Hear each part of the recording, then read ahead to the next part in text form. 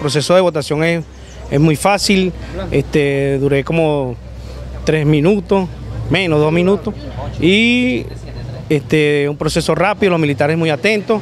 Empezamos a eso de la un cuarto para las siete, arrancó el proceso, todo el mundo ha, ha entrado y ha fluido bien la cola.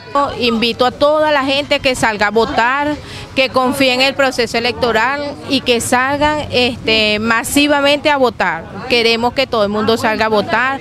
Este, el proceso está bastante rápido.